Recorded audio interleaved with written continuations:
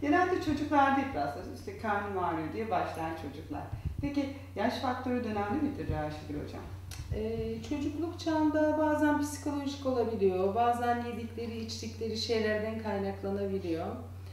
Ee, çocuklarda da yine mide bağırsak rahatsızlıkları, gaz sancıları olabiliyor ama çocuklardaki karın ağrıları genellikle selimdir. Altında çok kötü şeyler aramayız ama tabii ki çok şiddetli karın ağrısı, bulantı, kusma gibi şikayetler, ateş varsa bir apandisit olabilir çocukta da, bağırsaklarda tıkanma, dolanma olabilir. Elbette ki çocuklarda da her türlü hastalık olabilir.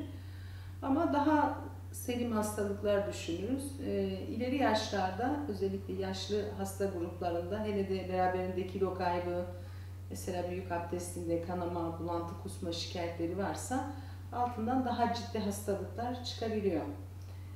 Ee, onun için e, muhakkak ki irdelemek gerekiyor.